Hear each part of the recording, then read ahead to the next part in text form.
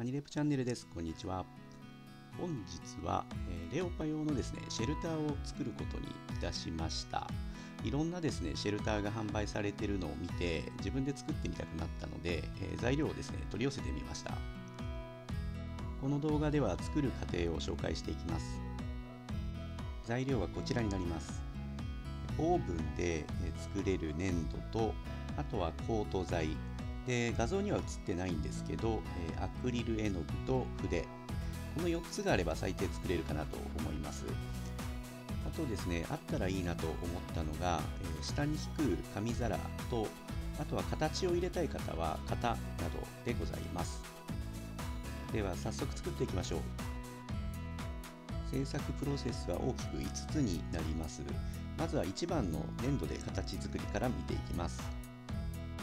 作っているところの動画がなくて恐縮なんですけど、えー、粘土をですね丸めて、えー、手でですね押しつぶしていって、えー、器状にしていきますと。でさらにシェルターの場合上に水飲み場が必要なので、え水飲み場を形成するという形で作成しました、えご覧のようにですねシェルターではだけではなくて水飲み場も作りました。で、えっと、シェルターは2つ作りまして、えー、左側が、えー、丸型の、えー、シェルターになります。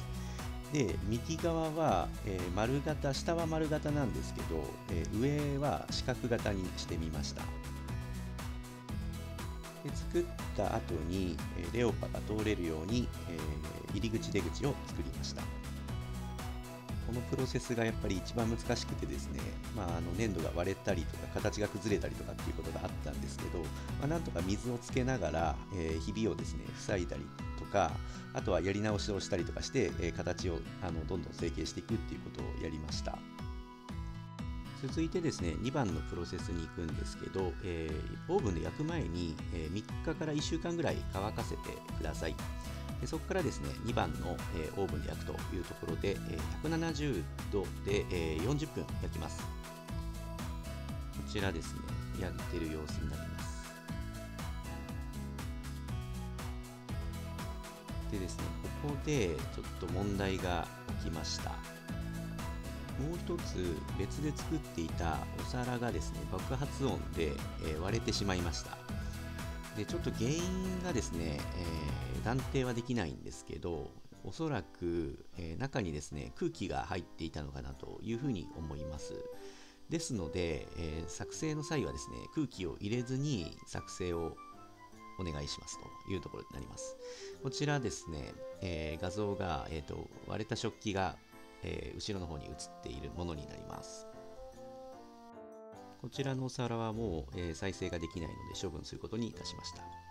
では続いての目次に行きます。続いてはですね3番の、えー、色を塗っていきたいと思います。1つ目のシェルターは、えー、レオパのですねオレンジ色をイメージしたロゴがある、え吉野家にしてみました。でですね、あの特段あの誰かにあの販売するわけでもないので、まあ、著作権とかも特に問題ないのかなというふうに思ってますので、えー、まあ、吉野家の、えロゴのですねシェルターを作りました。でこうやってですねあのアクリル絵の具であの着色をしていって、えー、まああのまあ、黒とかはですね、あの最後の方に入れた方が絶対いいので、まあ、オレンジで塗って、まあ、白のところはちょっと開けて、え、最後に、え、文字を黒く入れると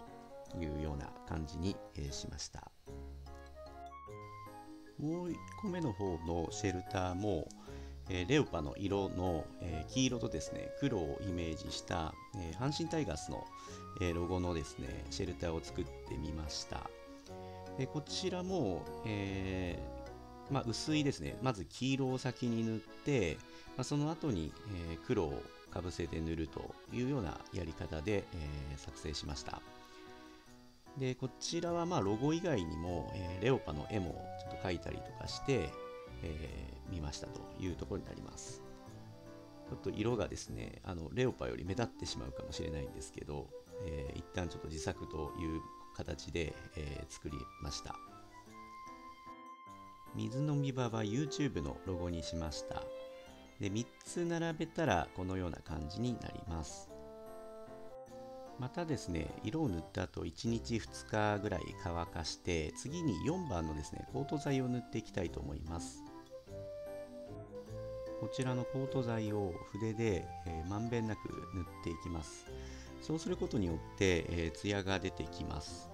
あと水飲み場もですね、あの、まあ、一応ですね、えー、コート剤を塗りました。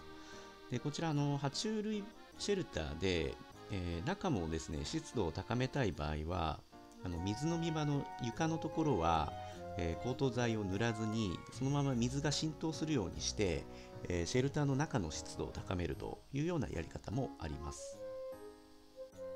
最後にですねオーブンでまた焼いていきます。でこちらはですね先ほどの2番のところより、え低い温度で、え時間も短くなっております最後にですね、えー、オーブンで、え、焼いて、え、終わりということになります。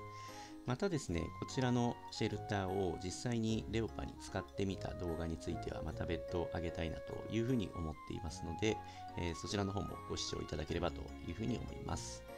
本日は以上になります。ありがとうございました。よろしければチャンネル登録並びに高評価よろしくお願いいたします。ありがとうございました。